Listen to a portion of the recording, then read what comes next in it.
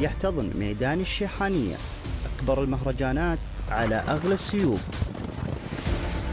سيف المؤسس الشيخ جاسم بن محمد بن ثاني طيب الله ثراه.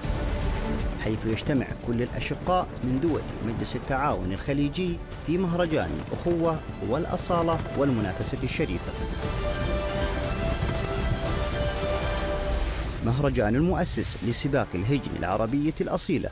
تشاهدونه من التاسع عشر إلى التاسع والعشرين من ديسمبر الساعة السادسة ونصف صباحا والواحدة ظهرا على قناة الريان الثانية.